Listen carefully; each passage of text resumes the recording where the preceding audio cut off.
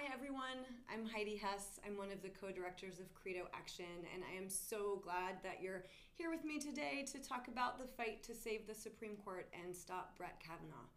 Um, I'm going to pause and just take a minute to look at this slide because I actually think that it pretty accurately represents the threat that we have in front of us right now. Um, Trump is literally trying to take over the Supreme Court, and he is trying to to take away our ability to defend all of the things that we as progressives think are important.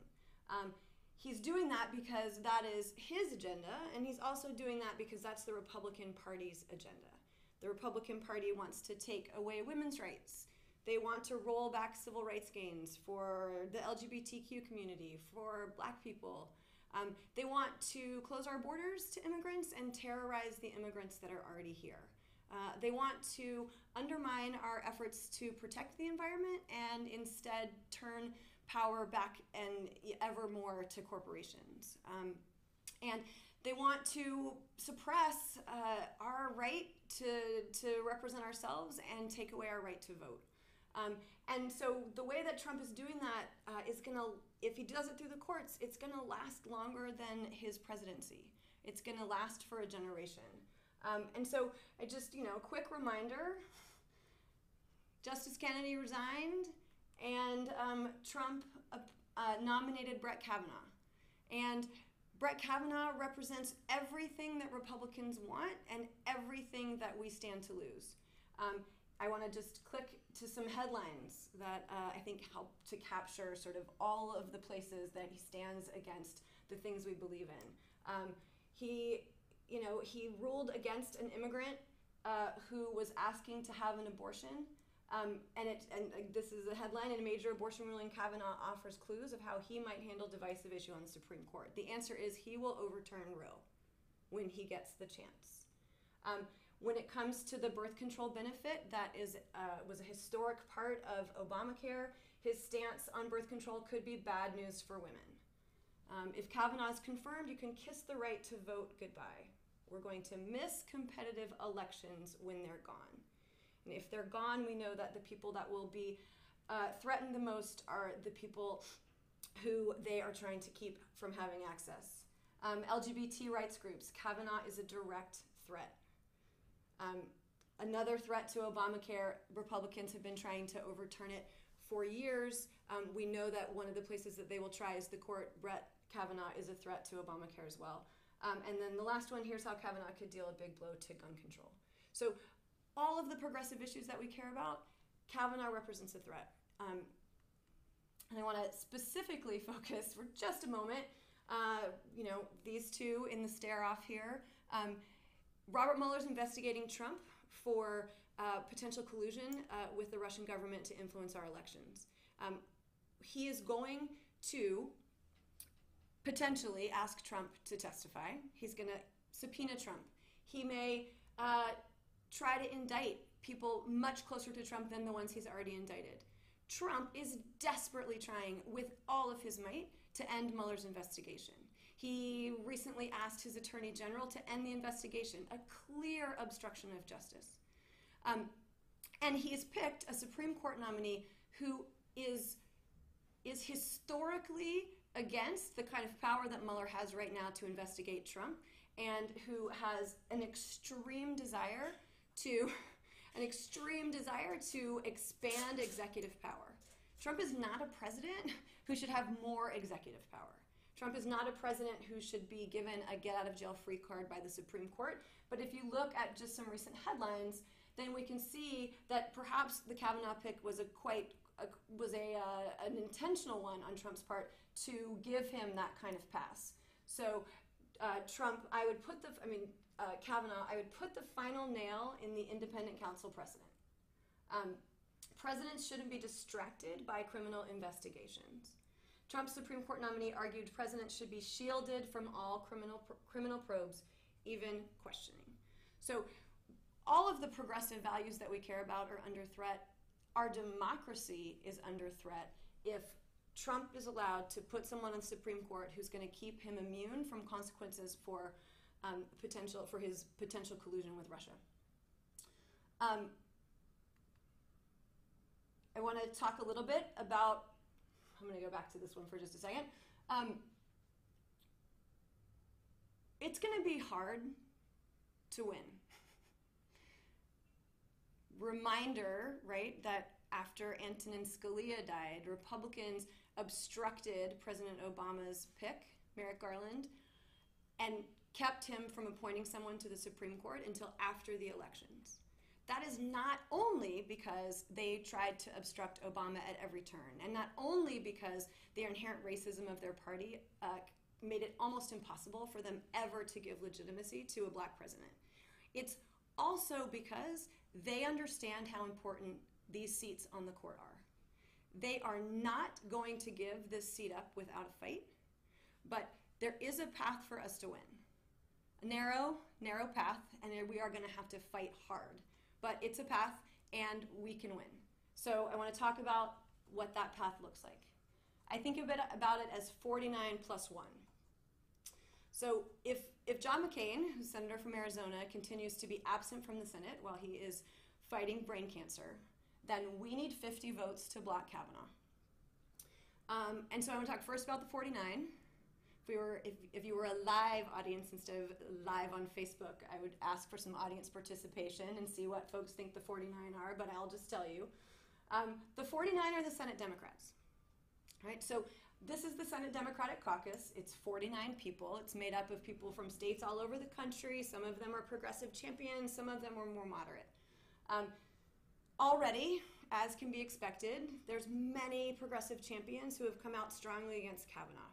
Senator Warren, Senator Sanders, Senator Harris. They are against Kavanaugh. They have been clear where they stand. There are other senators who have also come out against Kavanaugh, who you might not expect. Uh, so, as an example, Senator Bob Casey from Pennsylvania. Trump won his state in 2016. Casey's up for re-election right now. He has been clear that Kavanaugh will not have his vote.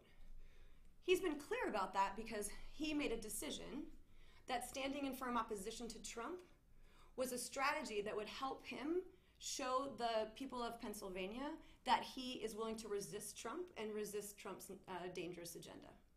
Um, there are other Democrats who have not yet come out and said where they stand. Some of them are saying that they're waiting to see how Kavanaugh will respond in his confirmation hearing. Some of them have said they want to hear from the voters in, that, in their states. It is not a question of what we will learn about Kavanaugh in his confirmation hearings. We are not going to be surprised that he is an extremist. We are not going to be surprised that somehow he isn't one. We know that he's an extremist. We know the things that he stands against. And no Democrat really should be in a position right now where they have any questions about that. Unfortunately, there are Democrats who have questions about that.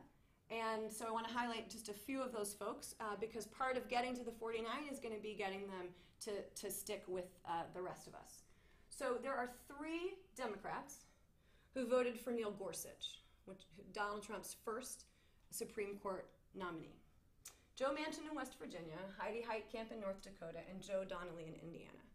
They all are in states that voted for Trump in 2016. They are all up for reelection in November. They need to hear loud and clear from the people in their states that the people in their state do not want to turn the Supreme Court over to Donald Trump. That the people in their states do not want to lose health insurance. They do not want to go back to a time when they are not able to afford to take care of their or their loved ones' pre existing conditions. They do not want women to lose their access to health care and abortion. They don't actually want corporations to have more power than workers. They don't want corporations to be able to poison the air and the water in their state. Um, that they want to live in communities where everybody in their community is safe and respected and not threatened or afraid. So they need to hear that because they need to understand that the people in their state understand the stakes of this fight. Um, I'll add a few more people to this list. So, um, Senator Doug Jones uh, was elected uh, in Alabama uh, after Gorsuch was confirmed. There are some folks really doing great work to pressure him in Alabama already. It's really important that we help amplify that pressure and that he gets the message loud and clear that he was elected to stand up to Trump and not to not to not to play to the middle. Um, similarly, Jon Tester and Claire McCaskill are also two uh, Senate Democrats who are in red states. Uh, McCaskill is meeting with Kavanaugh next week, um, and uh, they similarly need to be reminded of what the values of the Democratic Party are and what the values of the people in their states are. Um, so, so here's these are the six. Um, but I want to sort of wrap the 49 in sort of one. This is Senate Senator Chuck Schumer. He's from New York. He's the head of the Senate Democrats. He has he has a very important job. His job is to lead the Senate Democratic Caucus. It is it is a job that requires in this moment fierce resistance to Donald Trump whenever that is required, which is all the time. There's really no reason that any Senate Democrat should be compromising with Trump, and especially not the man who's supposed to be leading the Democrats. At Credo, we, for many reasons, uh, we're in San Francisco. We, we don't depend as much as some organizations on funding from sort of establishment foundations. And so we really think that one of our important jobs is to hold the left flank of the Democratic Party and to really stand up for the progressive values of the party. And from that position, we, we, we've, we've gone around the block a few times with Senator Schumer. Um, we have uh, critiqued Senator Schumer for, uh, even before Trump was inaugurated, uh, making it seem like maybe there would be things with, uh, you know, with which he could work uh, with Trump. Um, we, we have, we have gone around, uh, literally gone around the block with Senator Schumer after uh, he failed to use the government shutdown to actually protect dreamers. Uh, we drove a billboard truck around Washington, D.C. that said, uh, worst negotiator in Washington, with his picture on it. Um, we do those things because we feel that as the leader of the Democrats, he is especially accountable to standing up for progressive values. And we are finding, unfortunately, in this fight, that he is once again refusing to lead in the way that we need. So um, this is a this is an article I think that that uh, that sums it up. Schumer plays the long game, avoids hardball with centrist Democrats over the Supreme Court pick.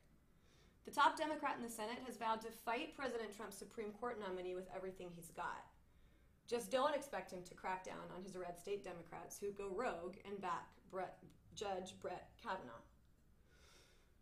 So when it, it's important, I think, sort of look at this whole sentence.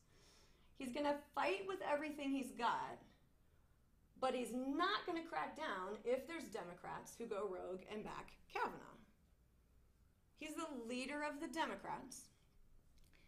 It is completely reasonable to assume that one of the things, or many of the things that he's got, is the ability, whether publicly or privately, to hold red state Democrats accountable for progressive values and to hold red state Democrats accountable for blocking Brett Kavanaugh.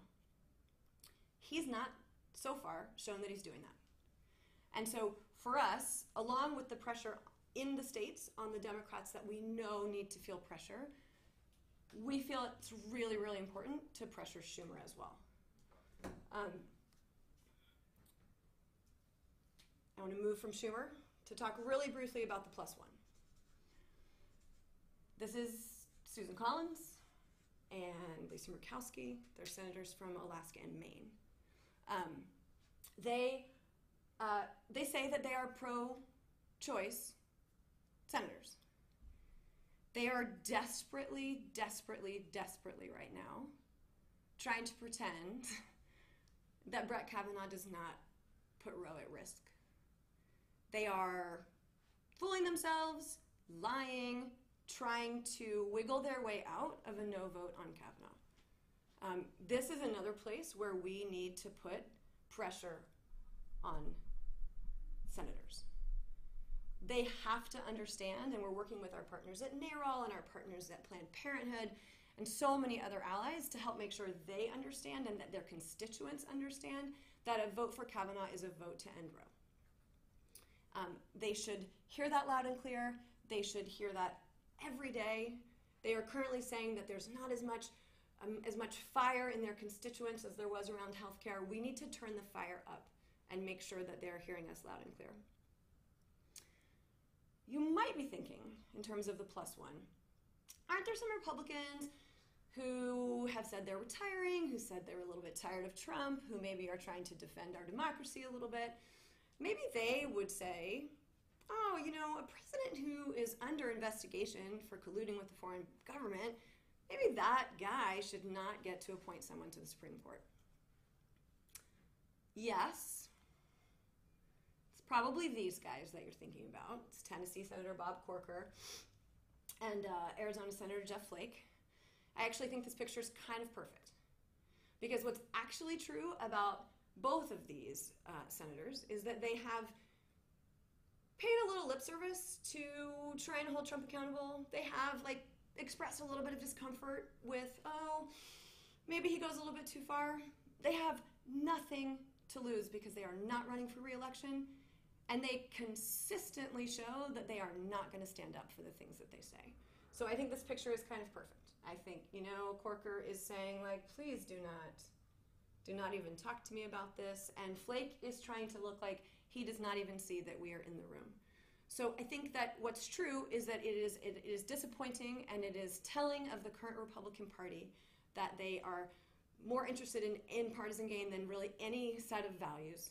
Uh, but the real hope of getting some Republican votes is with Collins and Murkowski. Um, I want to talk very quickly about sort of one other piece of strategy that Democrats are using, I think, fairly well at the moment, and I think it's important that, that we help amplify. Um, Brett Kavanaugh was the was in the Bush White House for a long time, and he is the Supreme Court nominee with the biggest paper trail in history.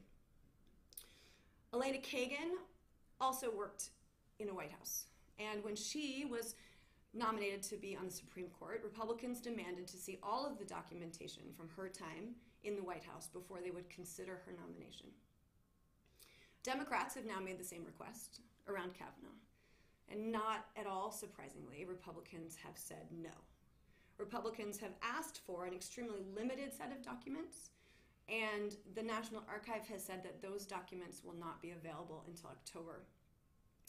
The Republicans have nonetheless scheduled Kavanaugh's confirmation hearings for September, the first week in September. So they are trying very desperately to bury these documents and make sure that they don't come out. We have a lot of allies who've been asking, you know, one of the very important questions: What are they hiding? And I think what they might be hiding is is a lot. And I think it's important, both in terms of what we might learn about Kavanaugh, and also important because I think it can provide leverage for senators to be able to ask for the documents and and and sort of stand their ground in not being willing to vote to vote yes. So when Kavanaugh was in the White House, here are things that people believe he touched. Issues around abortion rights, including the global gag rule. After 9 11, issues of torture, issues of rendition, issues about civil liberties in terms of how much overreach uh, agencies like the NSA uh, were doing and whether they were inappropriately spying on Americans. Uh, marriage equality, cuts to Social Security and Medicaid, uh, conversations about affirmative action, uh, a push against the assault weapons ban. Um, and then I think, sort of just circling back to the conversation about Mueller, um, George Bush used uh, used a strategy to try to exert executive authority over Congress that was called signing statement. So he would sign a bill into law, but then he would add some some extra documentation that would talk about what he didn't like and what he thought shouldn't be followed in that law. There was a huge, huge uproar about this because it was an abuse of executive authority. And Kavanaugh was right at the center of it, um, helping draft those uh, and being involved in, in promoting those. Um, so we know that there's, there's stuff there. We know that there will be things that will make that might make Kavanaugh seem like an even worse pick than he already seems to many of us. And, and that's why Republicans are trying to keep us from seeing those documents. And remember that this is not, we can't do this one over. If the documents come out in October and they show things that are appalling and beneath a Supreme Court justice, but he's been confirmed, we don't get do overs with the Supreme Court. We don't get to try again later. This is a lifetime appointment for someone who is, who we know has things in his paper trail past that would make him likely unqualified for being on the bench. Um, so senators, Democratic senators are, are fighting for this, and the Republicans, of course, are pushing back. Uh, but it is an, an angle of attack that I think helps, um, is potentially very useful for red state Democrats because it is a little bit less perhaps about the issues or a little bit less about maybe the things that they feel that they can't touch and more about uh, the way that Republicans are hiding Kavanaugh's record. Um, so, about to be done. Um, I just want to sort of remind folks of so how we think we get to 49 and how we think we get to 1. So, what we're doing at Credo, and we hope that you will join us, is we're putting a lot of national and in state pressure on George on Chuck Schumer. We're working with allies, uh, especially in state, to put in state pressure on the senators in Indiana, West Virginia, North Dakota, Alabama, a little bit in Montana and Missouri. And then for the one, again, we may we want to do everything we can to make sure that Susan Collins and Lisa Murkowski feel feel that the pressure is on them to make the right decision when it comes to the Kavanaugh vote. Um, so here's some things that you can do if you want to join us in trying to save the court. Um, the first thing you can do is spread the word it's actually really important that people understand what's at stake right now. So the more you can talk with the people that you that are in your circles about why you're going to fight to save the court, the better. Um, we have a bunch of petitions that you could sign and share, both to highlight what's at stake, to target key senators, to demand the release of documents, and to keep the pressure on Schumer. All of us should be calling Senator Schumer. If you're in New York, you can do more than that. You can visit his office. You can deliver petitions. You can go to a protest. You should rally your friends in target states to make calls and visit offices and deliver petitions and join local events. Um, there's a bunch of events happening on August 26th. Um, there are events happening really all the time because people are really, local groups are really trying to keep the pressure on. Um, and then the sort of final thing is the, that senators are starting to meet with Kavanaugh, Democratic senators. And the hearings are going to start in September. So it's really important that we keep our eyes and our ears and our voices on those moments when Kavanaugh will be back in the public eye. We should make sure that Senate members of the Senate Judiciary Committee, the Democrats on that committee, are fierce in their opposition during the hearings. Um, we should make sure that um, our senators who meet with Kavanaugh um, understand that we, we expect them to block him. Um, and we should be paying attention and elevating things in, uh, in social media that we think are important to help tell the story. Um, here's, here's where you can go and get some links to taking action or um, doing a little bit more. We hope that you will. Um, we feel like this fight, I feel like this fight, and I know the Credo Action Team feels like this fight is one of the most important uh, of our lives because we are defending progressive values for our generation and many generations to come. And so we certainly hope that you guys will join us. Um, I think we have a couple of questions from the studio audience, as it were. Um, I'll take those quickly. Um, so Elsa O from Connecticut asked a great question. She says, "My senators care; they're on the right side, but how can I make it? So how can I make an impact in states where it does matter?"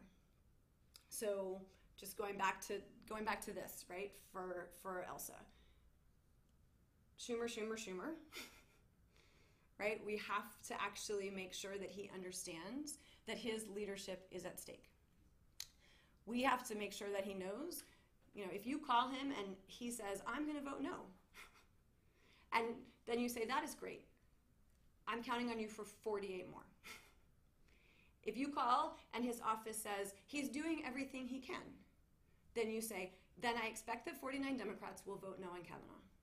He needs to understand that we get it, that we're holding him accountable to his whole job and not just to his individual vote or not just to his best work.